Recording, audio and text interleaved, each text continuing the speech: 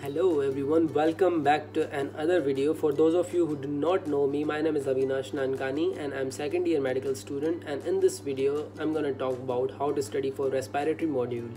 So uh, before starting the guide for this module, I'll divide the subjects of respiratory module into two parts and majors and minors.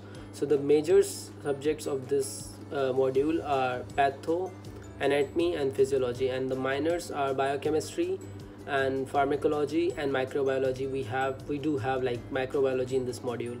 So yeah starting with histo like i always say start your module with histo because histo is like the basic of that module. So uh, start with the histo and i'll recommend Laiq Hussain for that. And from Laiq Hussain we have chapter number 17 respiratory system.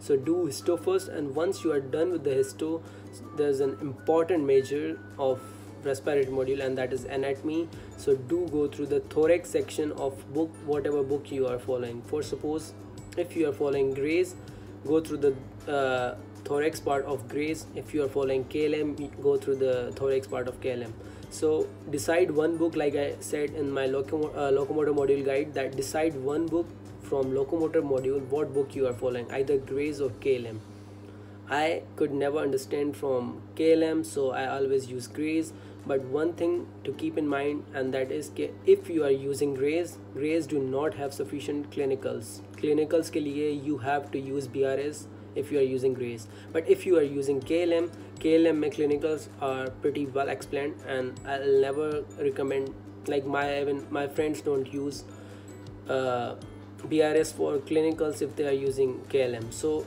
if you are using KLM do not go through the BRS and I'll recommend Gray's because I always do from Gray's so once you are done with the thorax section of Gray's you do not have to do middle mediastinum. Middle mediastinum is for the cardiovascular system so except middle mediastinum you have to do whole thorax and once you are done with the thorax you have to do the clinicals from the BRS and clinicals are very much important for your exam for module exam or whatever exams you are appearing in for respiratory module. Once you are done with the anatomy so one more thing and that is whenever you are doing anatomy uh, go through the atlas. Like keep atlas open beside you take you can see the 3d structures and models properly and you can like remember the labeling kyunki in the books but in Gray's like diagrams are like sufficient but in klm there are very less diagrams so do go through the uh, uh, Netter's atlas. But if you are not like a person who is bookish or who wants 3d structures in front of him so you can just go through the research uh, games. Like there are some 3d structures website games mind games. So you can just go through uh, those website and search that particular uh, for suppose you are studying a particular bone so you can just go through them. For example you are studying first rib so you can go through the rib and you can label the rib there on that 3d structure. So yeah once you're done with histo and gross anatomy try to cover embryology. Embryology is important for this module too and there are again two options in embryology either langman or klm i'll always recommend langman or i mean if you do not have time so it's not that uh, major subject so you can just go through the Shergill's uh, embryology but if you have time i'll definitely recommend to go with the Langman or KLM, whatever you are following. I'll mention the chapters from Langman. From Langman, we have chapter number 7, chapter number 10, except the skull part, and chapter number 14.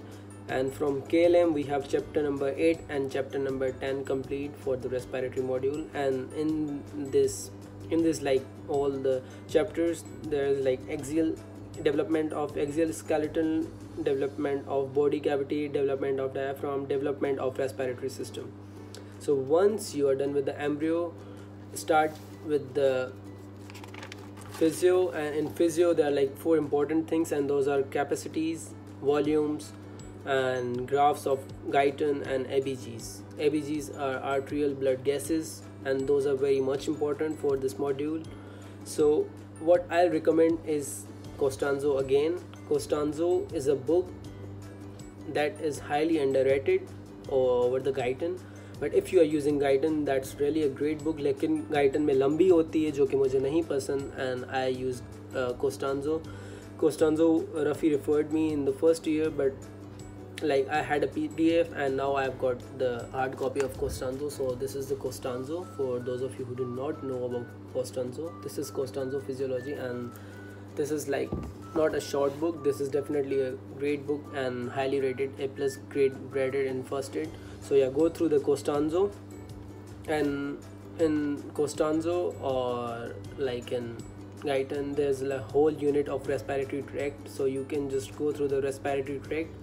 And again for this module power labs are very much important. So do go through the power labs or whatever uh, power labs are taught to you in the labs it's like spirometry probably. So just go through them and graphs of Guyton. If you are doing Costanzo do go through the graphs of Guyton. Those are like really important. Once you are done with the physio start doing patho. And patho mein there's one important thing and that is x-ray imaging. X-ray images of all the diseases do like remember now those diseases because you do not know like you do not have seen x-rays. So you do not know how to analyze the x-rays. So x-ray की images are very much important for this module क्योंकि उसमें से आपके ऑस्पीज भी आ सकते हैं, उसमें P B L C B L's कुछ भी आ सकता है। So for patho there are like two option either Pathoma और basis from basis we have chapter number fifteen and that is lungs and from Pathoma we have respiratory tract whole chapter and that's whole but what I used for this module along with pathoma was Irfan Maqsood's book Irfan Maqsood's pathology and uh, there were like हर एक disease के अलग में उसकी अलग अलग causes symptoms symptoms of diseases and causes are like much more important important for this module and once you are done with the patho then you are left with the two subjects and those are pharmacology and biochemistry and those are definitely minors but start and yeah one more subject and that is microbio so start with biochemistry. In biochemistry i there's a one chapter from lippincott chapter number three to go through it. And there are abgs or arterial blood gases. For uh, for that i'll recommend a video of youtube. You can just go through the video or you can go through the phycocin and there's another topic there's metabolic acidosis or alkalosis and respiratory alkalosis and acidosis. So for that there's a video on dirty usmle i'll mention that in my text of the chapter. That there's a video on dirty usmle so just go through uh, go through that one or two videos of one or two minutes. So it will like clear up all your concepts. But even if like you feel like you need to read a book uske liye there's a short book of biochemistry. I do not have it right now but it's five question छोटी सी book है and it's like there उसमें एक topic है acidosis और क्लोसिस के and ABGs के.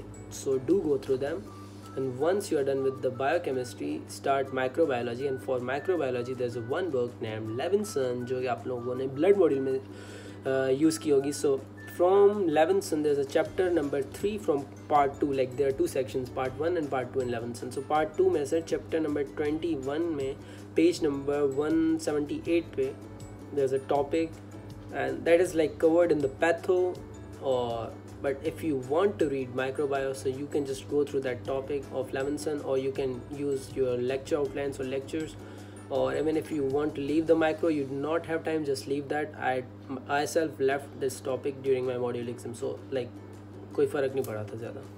For pharma there is like huge important topic and that is N S for N S मैंने आई ट्राइड लिपिन कॉड लेकिन लिपिन कॉड में भी इतना बड़ा था and this module is very short so I definitely recommend Kaplan जो कि मुझे भी अपने सीनियर्स ने रिकमेंड की थी।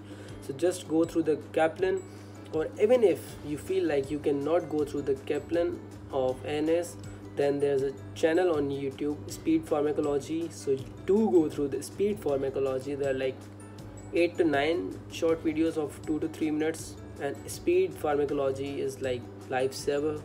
You can easily do the ANS drugs from that uh, YouTube channel. So yeah that sums up all the things that to be studied in the respiratory module.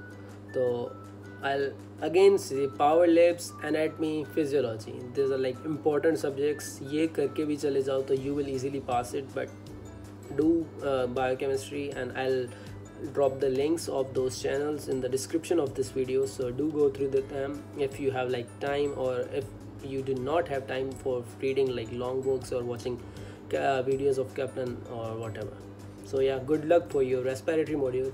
I will see you in another video with uh, cardiovascular module